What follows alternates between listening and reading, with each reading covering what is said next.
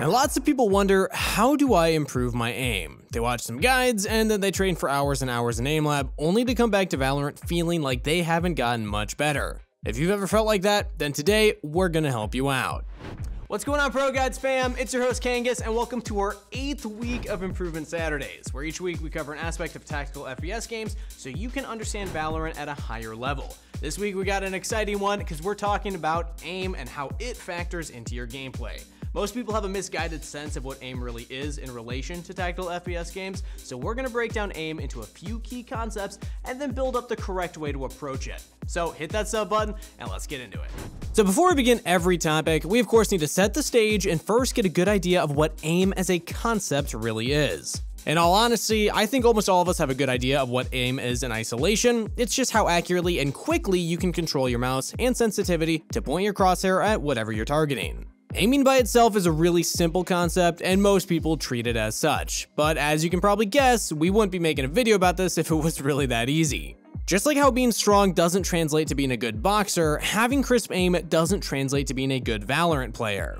Many people understand this as there are other important aspects like decision making and game sense. But even if we don't consider them, there is a misconception that if you can isolate the one-on-one -on -one duel with an opponent, aim is supposed to be the decider. So perhaps a better comparison should be being strong doesn't translate to having a good punch, just like how having crisp aim doesn't translate to having a good shot. Now let's talk about why. Now, the whole misconception of aim stems from the idea that what makes a nice shot is predominantly just a result of having great aim, as what we see when we witness a good player hit a headshot is mostly the precise control over the crosshair that they have. And when you consider how aim is meant to be your ability to control the crosshair, then that kinda makes sense, right? Well, let's consider the fighter comparison again. When you witness a boxer land a knockout punch, is it just raw strength that made his punch so powerful? From an inexperienced observer's perspective, what we mostly see is the punch being thrown out and the opponent's reaction by getting hit by it. Since most people don't have the experience to really see the elegance of the boxer's punch, factors that could have generated power such as body positioning, his momentum, or even his opponent's momentum are all left unconsidered.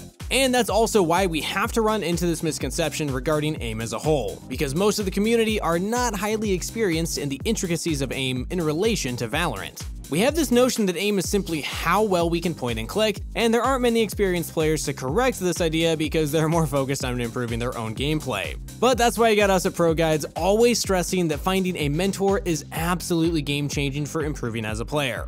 Sometimes we may create bad habits or misconceptions regarding Valorant that hurt our own growth, and the best way to correct those is to receive the guidance of highly experienced players. And you know where you can find Immortal and Radiant level coaches? ProGuides.com. Not only can they analyze your gameplay and figure out your strengths and weaknesses, they'll also give you insights needed to set you on the right path, as well as provide one-on-one -on -one lessons tailored to your needs. And we also have pro courses made by pros like Sentinels TenZ and Liquid Scream, so if unlocking your potential sounds interesting to you, you're more than welcome to come check us out. So anyway, what is aim in Valorant really then? To answer this, we're going to propose a different way to look at the game in order for us to better understand this question. Here's the take. Valorant, like most tactical FPS games, is a game of aim distractions. To benefit from good aim, you need to first master reducing the distractions to your aim. Now, if I've lost you already, don't worry, we'll explain. Aim distractions are factors that prevent you from relying solely on your mechanical aim. For example, recoil is an aim distraction, because when you start spraying a gun, you now have to worry about the recoil's effect on your aim. Another example is your gun's accuracy and recovery, because if your gun is inaccurate, it doesn't matter if your aim is on point.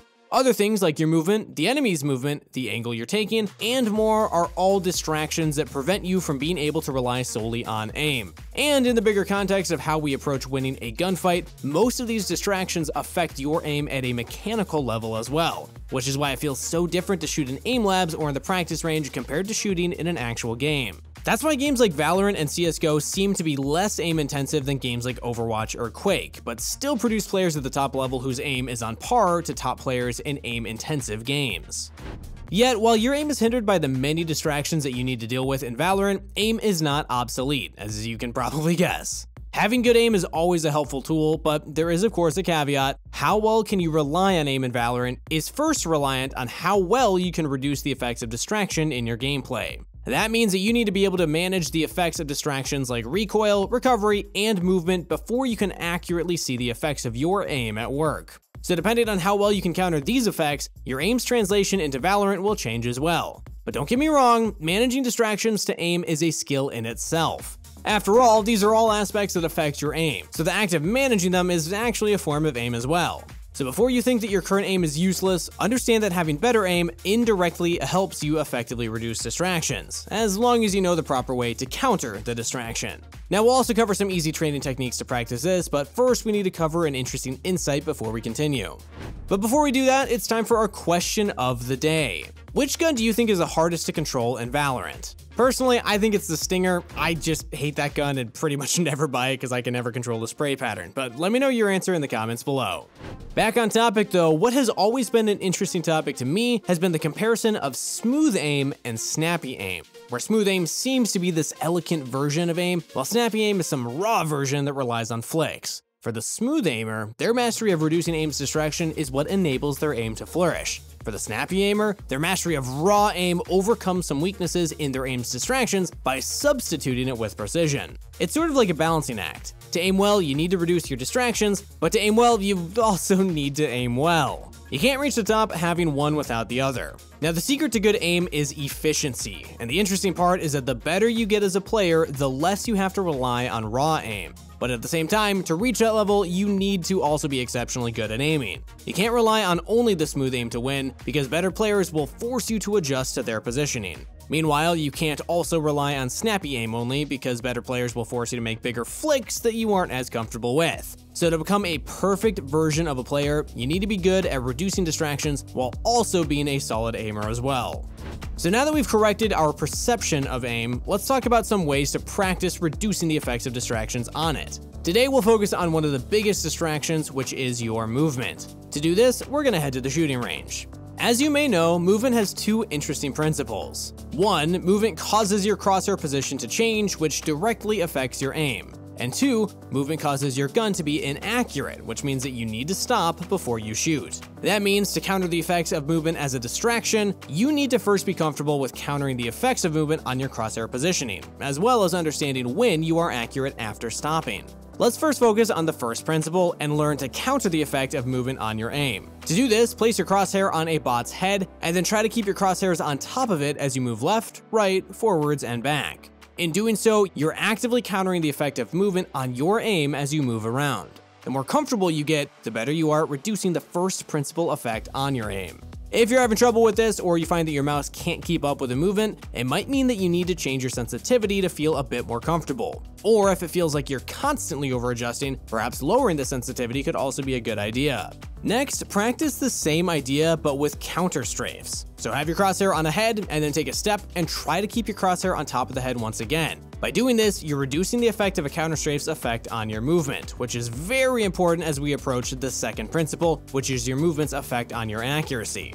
And speaking of which, the second principle actually plays on the first principle too, because by virtue of us having to stop before we shoot, that means we also have to factor in the effect of moving as well as stopping our movement on our aim. Additionally, we have to time our shot to match when our movement ends, which is another aspect to take note of. So to practice this one, try to incorporate what you just practiced and move while having your crosshair on top of a head. Then choose when you want to stop and take a shot immediately after you end your movement. The goal here is to maximize your timing with the counter strafe, as well as be on target when you fully stop. Start slow and then build up speed when you become comfortable. Once you become proficient with this and you start to become comfortable with reducing your movement's effect on your aim, you'll start to be able to practice this at a very fast speed while also target swapping like this, which not only helps you master your movement, but also trains your aim in the process. So in conclusion, mastering how to reduce distractions in your aim is a massive stepping stone for becoming a better Valorant player. And many people starting out don't get enough guidance regarding this hidden aspect of the game. Hell, even high level players and immortals don't understand this completely. So that's why if you build the fundamentals now, you'll start to set yourself up for a lot more success in the future when your skills finally get tested. It is crazy to think that it's already been two months since this series started, so for those of you who have been with us from the beginning, thanks for sticking with us. I hope each episode has helped you understand more about how to become a better Valorant player. And for those who are watching Improvement Saturdays for the first time, we still got a lot more to cover in the future, so make sure that you stay tuned if this video helped. Also, if you enjoyed the video, don't forget to like and sub to the channel. Most importantly, best of luck on the grind, everybody. Stay hydrated, and I'll see you in the next one.